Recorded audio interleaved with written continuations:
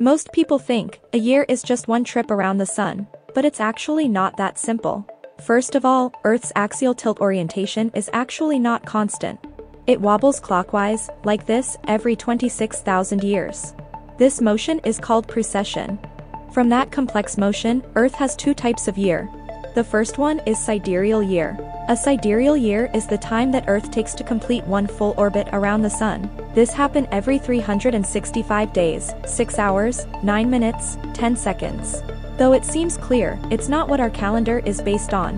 The second one is called tropical year. Tropical year is the time that Earth's axial tilt takes to be in the same configuration again with respect to the Sun. This happen every 365 days, 5 hours, 48 minutes, and 46 seconds. Because Earth's axial tilt is what causes annual seasons, tropical year is used by our calendar, so that our seasons will stay in the same months throughout the year.